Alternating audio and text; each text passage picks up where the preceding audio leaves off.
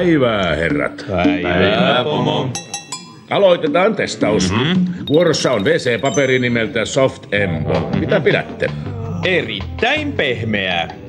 Ihanaa. Kolme kerrosta. Vahvaa. Tätähän voi vaikka vetää.